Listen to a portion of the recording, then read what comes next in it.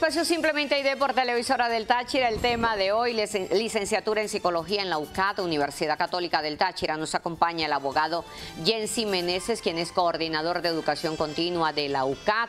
Eh, les recordamos nuestras redes sociales, arroba Simplemente ID piso TRT, arroba TRT Piso Contigo. Así que muchísimas gracias a todos ustedes por acompañarnos, seguirnos hoy con un tema que se convierte en una prioridad para todos, un tema que tiene que ver con, eh, con una ciencia valiosísima como es la psicología que aborda el, área cognitiva, conductual y emotiva del ser humano, que desarrolla tareas hermosísimas para orientar familias, niños, jóvenes en el área vocacional para superar traumas, duelos, procesos de depresión, de angustia, de ansiedad y que vale destacar que la Universidad Católica abre las puertas a esta maravillosa iniciativa.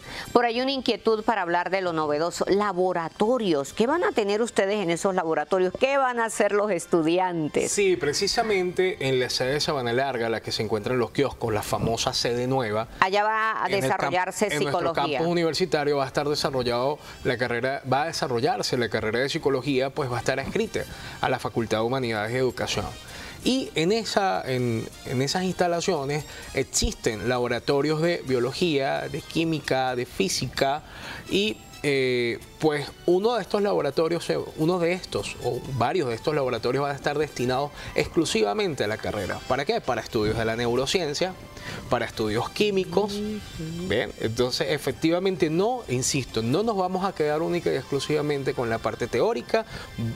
la impronta que va a tener la universidad referente a esta nueva eh, carrera eh, dentro de nuestra casa de estudio es la practicidad. Y dentro de la practicidad están unos laboratorios diseñados con los estándares de calidad que propiamente tiene nuestra universidad para prestar los servicios a nuestros estudiantes. Hacia el interno, eh, a ver, son cinco años de formación. Son diez semestres. Son diez semestres. Diez semestres. Esta es la primera carrera que trae la universidad de forma semestralizada, adaptándonos también a las nuevas formas de diseños curriculares y eh, también es una noticia que hay que dar, una buena noticia es que la universidad, las distintas facultades están modificando todos sus pensos curriculares, adaptándolos a las nuevas necesidades del siglo XXI. La carrera de Derecho, la carrera de Contaduría, las carreras en Administración, Mención, Gerencia de Empresas, Recursos Humanos, eh, Informática Gerencial, todas estas carreras están presentando en este instante una renovación de su diseño curricular para prestarle unas carreras innovadoras a los nuevos, a las nuevas personas que van a optar por estos, estos profesiones. De allí que, que ustedes incluyan neurociencia, que, que estamos viendo un abordaje eh, de distintos puntos de este planeta, Europa sobre todo tiene especialistas en neurociencia valiosísimos que están en procesos continuos de investigación del ser humano, presentando soluciones y sobre todo, doctor Meneses, porque la pandemia marcó un antes y un después. Sí, efectivamente la pandemia marcó un antes y un después y sobre todo en Venezuela. Eh, Venezuela eh, no solamente es la pandemia, sino son acontecimientos y hechos económicos, sociales, políticos que ha creado que efectivamente ha habido una desesperanza en ciertas partes de la sociedad venezolana y pues que se ha necesitado de la herramienta de psicólogo para poder precisar y para poder atender esta desesperanza por parte de la población eh, venezolana. De allí que, que ustedes, eh, doctor Jensi, han venido diagnosticando, porque bueno, hay que destacar de la época del doctor Arturo Sosa Bascal, el, sacerdote jesuita, que desarrolló todo un proceso aquí con ustedes del Observatorio Social de la Católica. De verdad que para mí era un honor siempre tenerlos aquí con los libros, los diagnósticos. Pero en este momento ustedes que están dándole este impacto desde la nueva sede eh, con psicología, han estado diagnosticando desde la sinodalidad, desde las zonas humanas, desde las realidades concretas donde hay vulnerabilidad? La Universidad Católica del Táchira tiene una gran ventaja. ¿Cuál? Y es que pertenece a la iglesia. Y al pertenecer a la iglesia pertenecemos a la diócesis de San Cristóbal, pertenecemos a la red de universidades confiadas a la Compañía de Jesús en América Latina, pertenecemos a la red internacional de universidades confiadas a la Compañía de Jesús a nivel internacional, pero también somos una iglesia erigida canónicamente por la Santa Sede como Universidad Católica del Táchira.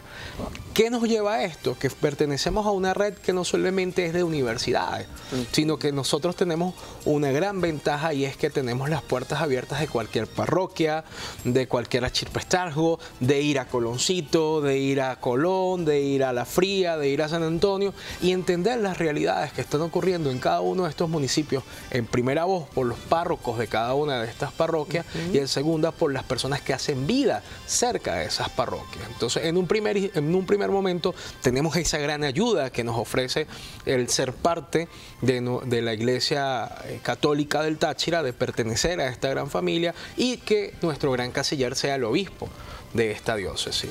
En un primer instante. Por otro lado, efectivamente nunca hemos dejado a un lado la investigación. Aunque el OSET, efectivamente, como muchas otras cosas en Venezuela han perdido financiamiento, seguimos investigando, seguimos buscando, seguimos observando las zonas de máxima vulnerabilidad para ver cuáles son las necesidades que tiene nuestro Estado y tiene la frontera.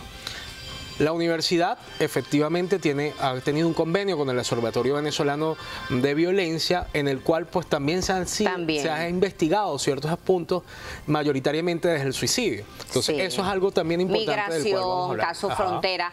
Vamos con una breve pausa publicitaria, no se aparten, ya volvemos con más porque en el siguiente segmento con nuestro invitado, el doctor Meneses, vamos a preguntarle, bueno, ¿y la información dónde la podemos obtener? ¿Cuándo comienza este proceso de preinscripción? De tal manera que ustedes puedan tener la información completa. Vamos y volvemos.